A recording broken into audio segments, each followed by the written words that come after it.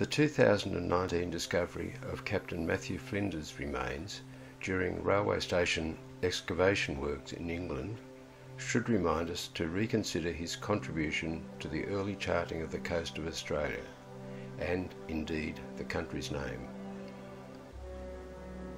Even as late as the Second World War, it was found during the defence of Australia that the most reliable charts of some areas were drawn by Matthew Flinders in the early 1800s, and some are still in use today.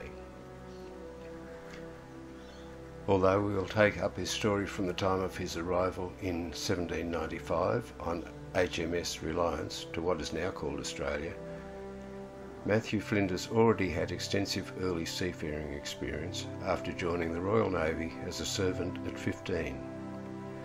He served in the French Revolutionary War and as a midshipman to the notorious Captain Bligh on HMS Providence. During his voyage to Port Jackson and the nascent Sydney, he became friendly with the ship's surgeon, George Bass. Soon after arrival, they set out with a boy called Martin to explore the coast south from Sydney in a 2.4 metre boat called Tom Thumb, brought by Bass on the Reliance. Next year, in another boat called Tom Thumb 2, they travelled further south. However, a storm forced them to put into what is now Port Kembla, where they spent a few days with the local natives.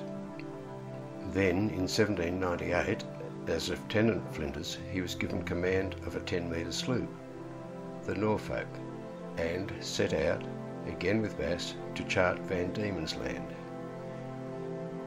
now called Tasmania.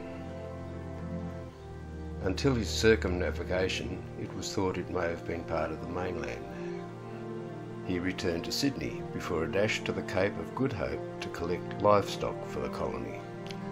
During the return journey, he acquired Trim, the cat that would accompany him on subsequent exploration. It earned his admiration by climbing back after falling overboard. 1799 saw the Norfolk with a crew of eight venturing north from Sydney to arrive in Moreton Bay six days later.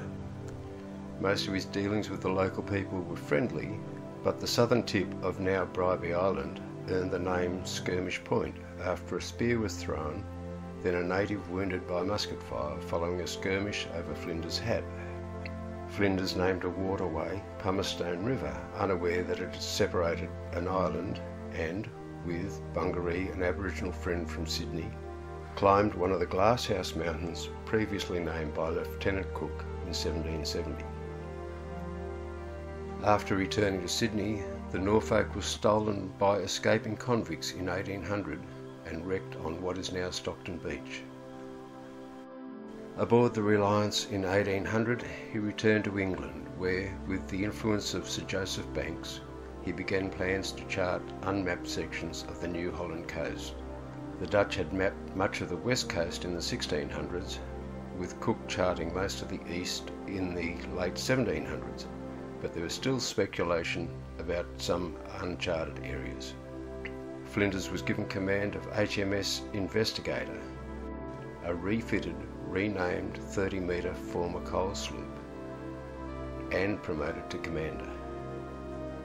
Although he had just married a patient Anne Chappell, she was prevented from travelling with him and so would not see him for another nine years. The investigator arrived at Cape Leeuwin in December 1801, then continued eastward to chart the Great Australian Bight and the two Gulfs of South Australia. However, he lost eight of his crew when a small boat capsized near Port Lincoln. At Kangaroo Island, they obtained fresh kangaroo meat. Although the Napoleonic Wars were underway at the time, he compared information with French explorer Nicolas Baudin after a chance meeting in an area he named Encounter Bay. From the now named Bass Strait, he entered Port Phillip and climbed Arthur's Seat and the You Yangs before heading on to Sydney for a refit. In late winter 1802, with 88 crew, including Bungaree, Investigator headed north towards the Great Barrier Reef, accompanied by the Lady Nelson until keel damage forced her to return to Sydney.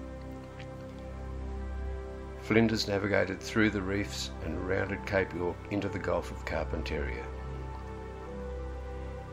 Interactions with natives till then had varied from cordial to mildly threatening, but here one of the crew was speared, leading to the shooting of two natives. To add to his worries, the ship was leaking and rot was found in its timbers. So Flinders decided against further inshore charting and set sail for Timor to attempt repairs. Then, continuing around Western Australia, he had to abandon two anchors off the south coast, which were found 170 years later. When the investigator entered Port Jackson, almost a year after setting out, he had filled the gaps between other surveys of the coast, and Bungaree became the first Australian to circumnavigate his country. On inspection, the ship was judged unseaworthy and relegated to be a storage hulk. However, after a later assessment and major rebuild, she returned to sea and to England, eventually serving as a prison hulk before being refitted to see private service beyond the middle of the century. Without a ship to continue his work, Flinders set sail for England as a passenger on HMS Porpoise, but it was wrecked on the Great Barrier Reef, so Flinders sailed the ship's cutter back to Sydney and organised the rescue of survivors. In December 1803, he again attempted to return to England as commander of HMS Cumberland, but again the ship's deterioration forced him to seek repairs, this time at Ile-de-France, now Mauritius. Unfortunately, England and France were at war, and Flinders was detained as a spy. Trim the cat disappeared during his imprisonment but Flinders was able to work on a book and send some documents back to England, including his map in which he named the Great Southland as Australia. He was released in 1810 and returned to England and his wife of nine years. Their daughter Anne was born in 1812. Although in poor health, he set to work to publish his charts and complete three books. He was already unconscious when the final proofs arrived the day before he died in 1814 at age 40. So he did not see his book published nor the general adoption of his favoured name, Australia.